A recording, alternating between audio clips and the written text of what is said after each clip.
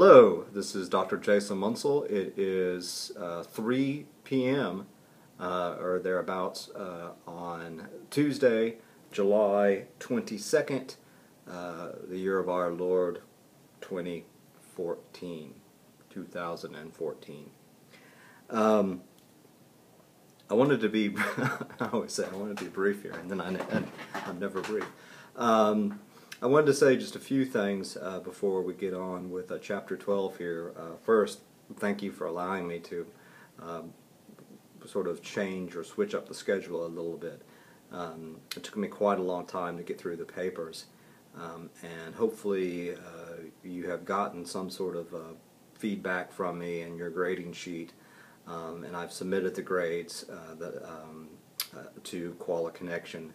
Um, if you have any questions about anything, uh, if you disagree with the grade, if you don't understand my feedback, uh, etc., etc., please, please, please uh, contact me, email me, um, or, tweet me, or, whatever.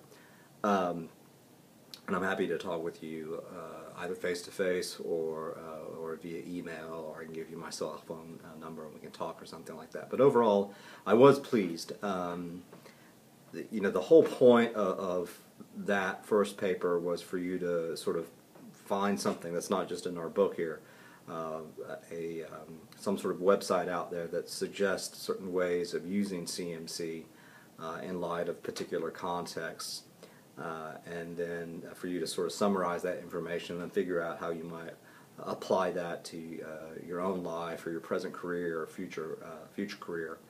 Um, and so I saw a lot of great uh, reflection and a lot of great uh, application. Uh, so the assignment seemed to do what it was meant to do.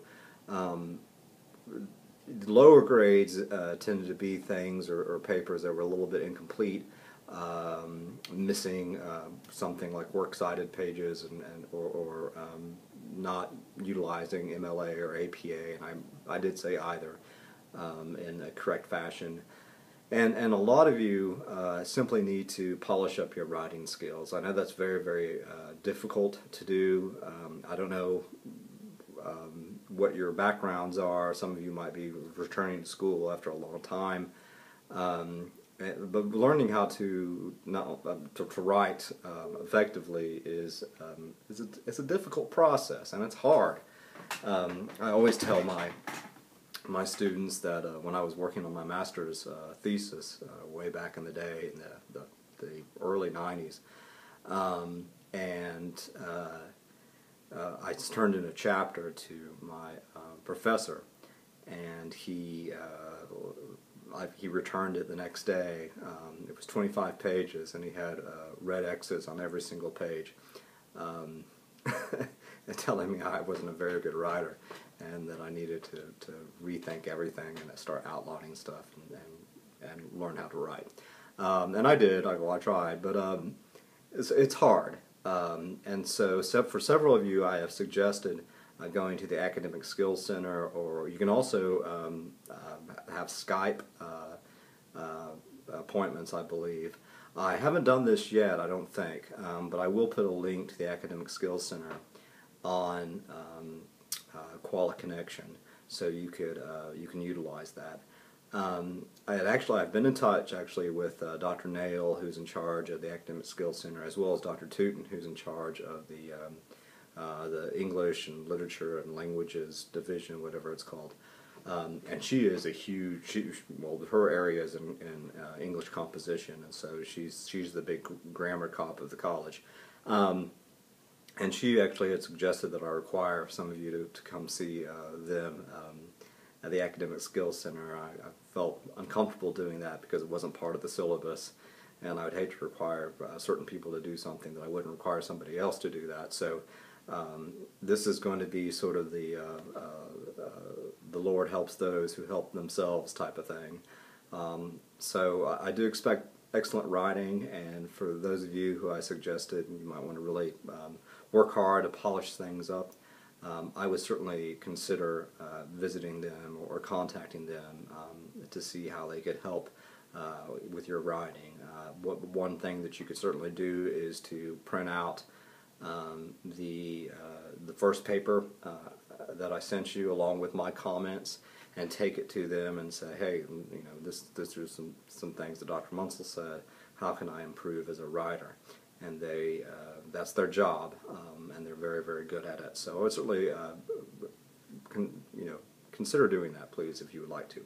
But I'm not going to force you, nor am I going to require you to do that because I'd feel a little bit uncomfortable doing that. But again, be self-sufficient and, and, and go, go learn because learning is, is good.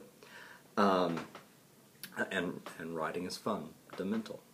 Um, okay, so next on the agenda, apart from the, uh, uh, the weekly uh, tweets and the uh, emails and the uh, Tumblr stuff, um, is the final paper. And I haven't put the grading matrix up yet because, uh, well, it's going to be exactly like the grading matrix for this uh, first paper. And the whole assignment is exactly like the first paper. The only difference is this time you're taking some aspects of our textbook, uh, whether it be chapters that we have covered or maybe some chapters that you have read on your own um, because you like education, um, and then applying them again to your own life, to to your present careers, to your future aspirations, etc., etc., etc. So exactly the same thing. So you think, if you're thinking in terms of an outline, two main points. You have that introductory um, uh, paragraph uh, that includes sort of what you're focusing on, your topic, a thesis, a preview, uh, you have your closing um, um, uh, paragraph, and all this stuff is in the syllabus. Um, uh, it's just, I say more about it for the first paper because, again, the second paper is exactly alike. And then the first part of your paper will be uh, either focusing on a particular chapter or, or teasing out or uh, bringing out several different things from several different, several different chapters and sort of summarizing uh, what this material in the, in the textbook says. And then, second part, applying that stuff very thickly and very richly and very specifically uh, to your own life, your current career, future career, so forth and so on. And as, as last time, I'm happy to look at rough drafts. Um, so please send me rough drafts, but please don't send me rough drafts sort of the day of. Um, and I'm also giving you next week a lot more sort of free time uh, because this stuff is going to have to be due earlier. You don't have the full weekend uh, simply because uh, my grades for you will be due um, uh, pretty quickly after the uh, our, two weeks or four weeks are over with. We've got two more weeks this week and one more week and we're done. Um, so uh, let me know how I can help. So really the only things remaining this week's tweets, uh, blogs, and emails, then next week's tweets, blogs, and emails, and then that final paper. And, and that's, that's, the, uh, that's our four weeks together. So with all that being said, and by the way, I mean, again, y'all are doing excellent work, and I was really, really pleased overall with the paper. My only sort of hesitation was, I think, uh, in some areas, uh, many of you need to work on your writing skills. Um, the uh, this chapter um, lecture 7, this is lecture 7, chapter 12, is all about uh, rethinking friendship. And by the way, um, I'm not sure exactly how you've been doing this. Either it's sort of watching me um, and, and maybe having, um, maybe watching me with your iPad or something like that if you have an iPad. I'm actually using my iPad right here if you didn't know that already. Um, and then looking at the, uh, the PowerPoint on some other screen or else uh, looking at the PowerPoint and then, um, and then just listening to me um, so however you are doing it, um, you know, uh, follow along here as we as we go uh, through uh, this um, all together because we are friends. Slide two is is just that's what friends are for. It's one of my favorite songs. It's always touching. Um, Dionne Warwick um, is she'd still do the psychic stuff. Um, but that's such a delightful song. Slide three. Uh, one of the things, sort of a, the setup of this entire chapter, one of the things um, I noticed that the, the textbook talks about, and I can't remember if this term has been used before, but it talks about um, how uh, it's looking at friendship and, and, and um, thinking about various relational variables. Um, I don't. I didn't know if you knew what a variable is, um, and I'm going to. I haven't put it up yet, but I'm going to put um, an extra sort of supplemental handout on Casey that sort of talks about um, the nature of uh, social scientific research when you're thinking about um, basic things like uh, independent and dependent variables, and that's what they're talking about. Um, you know, science likes to talk in terms of variables. For instance, um, here is an independent variable, and my head is a dependent variable. I can manipulate the independent variable to see if I do something to that, to the dependent variable, what will happen. So I'm going to manipulate the independent variable. The result is, ow. Um, that's that's basically it. That's that's science. Um, so basically, um, variables are just these little conceptual things that, that scientists like to talk about. Um, the larger thing is we simply need to rethink the very nature of friendship when we're when we're thinking in terms of um, the world in which we live in this the CMC world. And uh, basically, they're saying all the old research, all the old, you know, uh, conceptualizations of friendship is based almost completely on face-to-face uh, type of research and face-to-face thinking, and we need to get uh, uh, over that. We need to get over uh, this notion that friendship is fragile um, and more into this idea that friendships are flexible. Fragile. Flexible, good. Um, and so this chapter is really all about friendship as, as, as flexible, flexible friendships. That's what this chapter is about.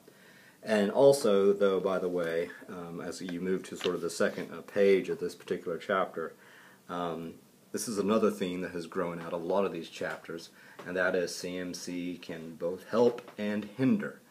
Um, so that's always important to, to consider. How can you use this as a tool um, for good instead of evil? Next slide. Traditional views. Friendship as fragile. Sorry, I have the image there. I don't know how many of you have this. If you're like me, sort of have a Christmas ritual of watching the, Christmas story, or whatever it's called. Um, and when he gets his leg lamp and it says fragile, uh, or he thinks it says fragile, because um, it's Italian. and his wife says, no, it's fragile. Um, okay, so that being said, um, Slide five. Okay, the old view.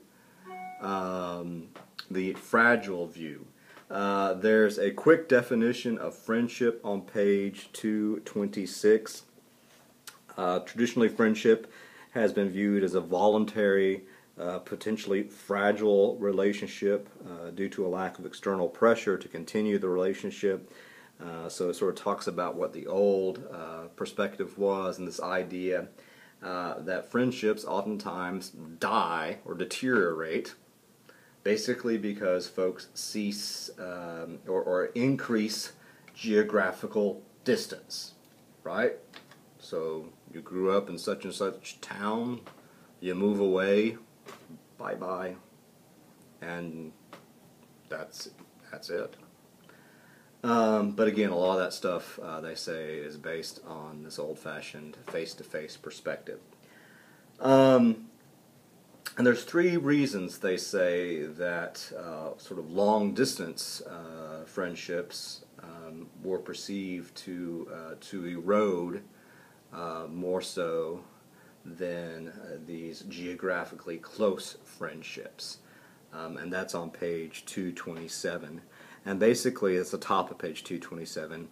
Um, the whole idea that when folks move apart, go off to college, whatever, um, individuals must invest more time and energy in long distance friendships.